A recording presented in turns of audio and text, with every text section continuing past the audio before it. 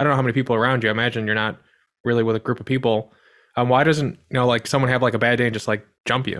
You know, like why wouldn't like three or four people just like get you?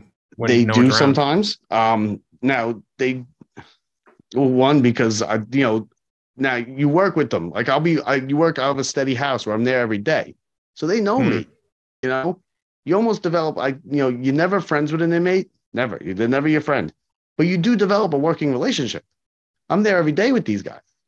They know me. They like I'll walk into a house in the beginning, like, and then they don't know me, and they'll be like, "Oh, you're racist, this and that," and I'll be like, "Listen, I'm the least racist person you'll ever meet." They just see me and you know they say this and that. But once they get to know me, they'll be like, "Okay, he's funny, this and that." I'm fair. I try to be fair with these guys. Listen, you got to lock in. There's certain things I got to do. They'll be in the cell, like four of them in a cell smoking. I can't have four of you in the cell.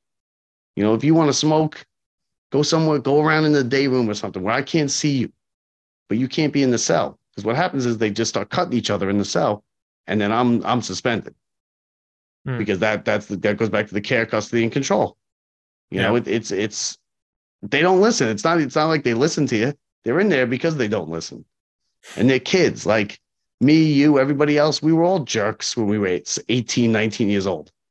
We just were because like most 18, 19, 17 year olds are all jerks. These guys are jerks, but they're gang members. They're blood gang members. There's a whole bunch of gangs. They're constantly warring with each other. They're constantly passing drugs around. You know, it's a now the tablets, the, the way they have the tablets, it's a good thing that they have the tablets. It gives them something to do. Because a lot of the stuff that they do, it's because they're bored in there.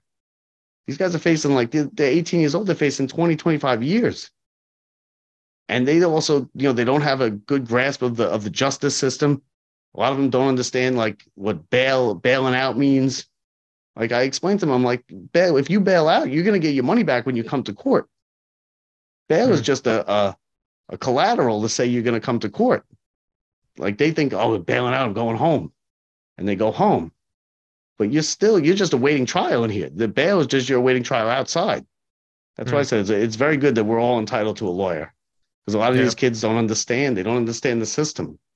And they get wrapped up in the system and they do stupid stuff. They all have guns. They all have a shooting charge or a gun charge.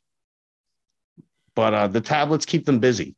You throw some movies on there. They have the internet, but it's not like the internet where they could go wherever they, it's restricted internet. Um, they're starting to do uh, phone calls with the tablets, Hmm. which prevents a lot of problems with the with the phones.